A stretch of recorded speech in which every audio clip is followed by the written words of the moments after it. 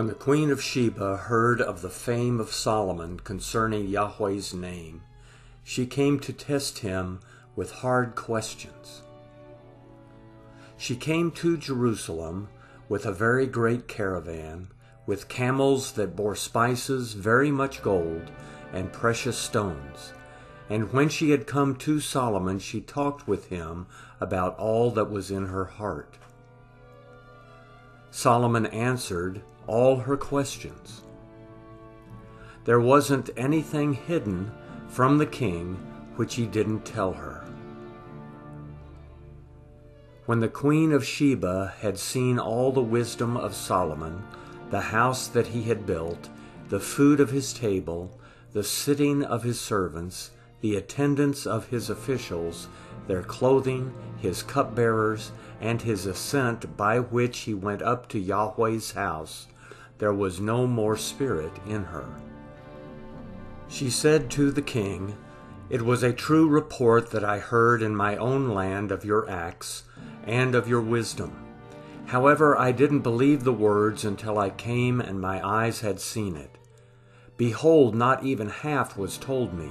Your wisdom and prosperity exceed the fame which I heard.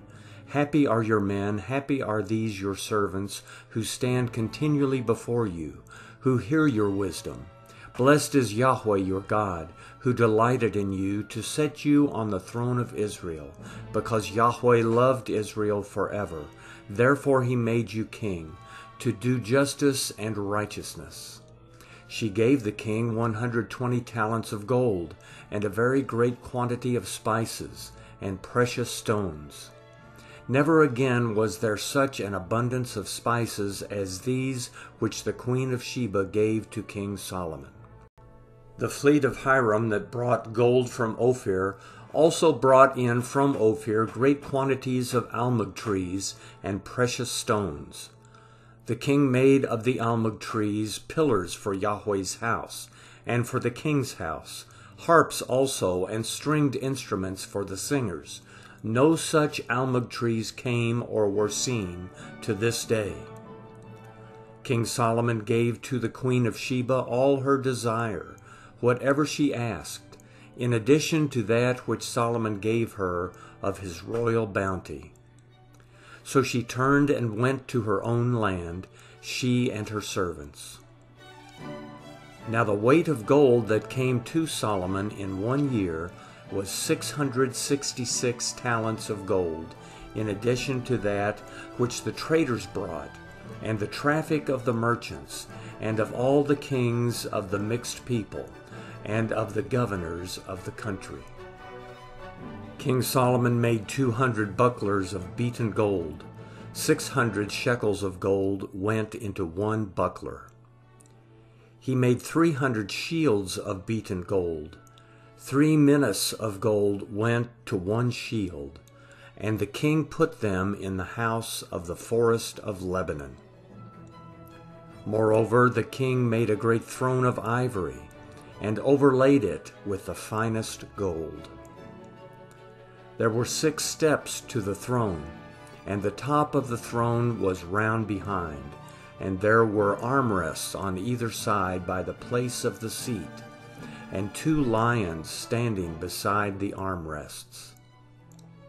Twelve lions stood there on the one side, and on the other on the six steps. Nothing like it was made in any kingdom. All King Solomon's drinking vessels were of gold, and all the vessels of the house of the forest of Lebanon were of pure gold. None were of silver, because it was considered of little value in the days of Solomon. For the king had a fleet of Tarshish at sea with Hiram's fleet. Once every three years the fleet of Tarshish came, bringing gold, silver, ivory, apes, and peacocks.